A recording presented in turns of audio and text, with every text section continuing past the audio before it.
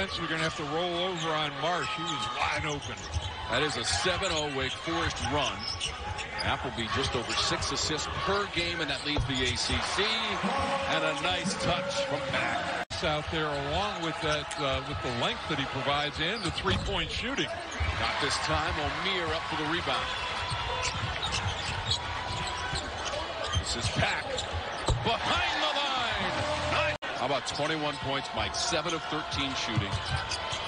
And he's gone for 20 points or more for the ninth time this season. Taken back by Miami. Sixth turnover by Appleby. Pack.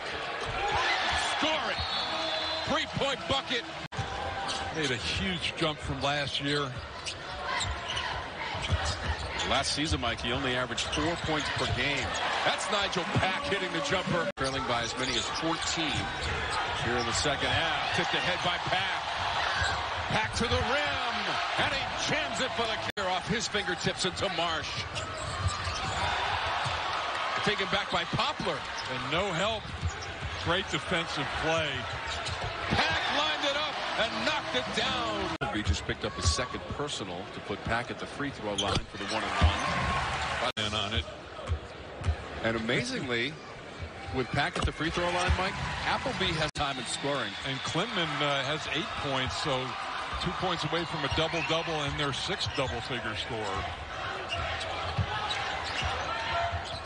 Four minutes and change remaining, five-point game.